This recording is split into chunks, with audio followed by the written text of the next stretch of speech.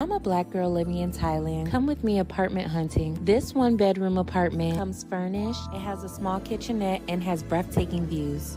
The building has a 24 hour gym and multiple pools. And the best part, it's only $500 a month.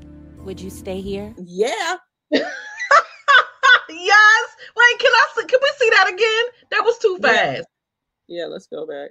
Go back. Black girl living in Thailand. Come with me apartment hunting. This one bedroom apartment comes furnished. It has a small kitchenette and has breathtaking views. The building Okay, so let's stop there. It's Okay. a one bedroom, so we got to keep that in mind. I have kids, so I probably, you know. Well, we're gonna have to get more, but the fact that the one bedroom is five hundred a month, so what? The two bedroom is a thousand, the three bedroom maybe fifteen hundred or something. Yes, I'll still take it.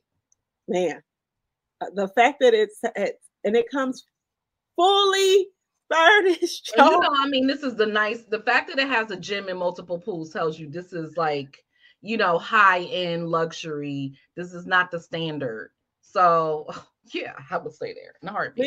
Man, so you telling me the slums is probably like fifty dollars? A studio probably like twenty five. Like we talked about that, right? Because some of the women that have been on our show, like some of them, like, yeah, you know, it is cheaper.